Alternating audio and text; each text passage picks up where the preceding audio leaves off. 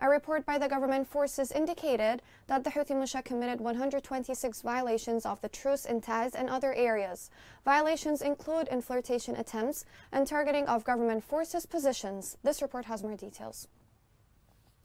The United Nations truce that was announced on the 2nd of last April included a two-month ceasefire, but the Houthi militia continued its repeated violations since the first moments of the truce on the various fronts in Taiz. During the first months of the truce, the Taiz military sector recorded a variety of violations, including the use of various weapons and reconnaissance aircraft and setting up new fortifications.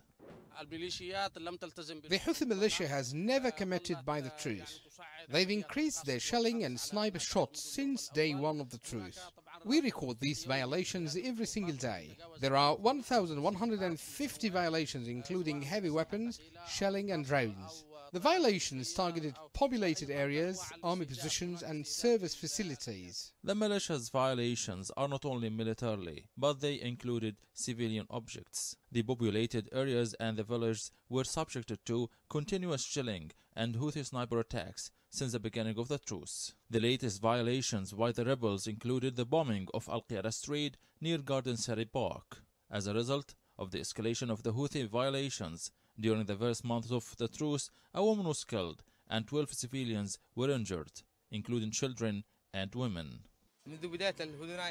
Since the start of the truce, the Houthi militia perpetrates gross violations. They shell populated areas, civilians and public facilities. They shelled areas near hospitals and civilian areas. These breaches are a flagrant challenge to the United Nations envoy, the international community, and to all those who backed the truce. It is not a normal thing to steer drones to attack civilians. The government and political parties in Taiz had called on the United Nations to take a serious stance towards the Houthi militia bombings of civilian objects and their continuous violations of the truce, which undermines the peace process.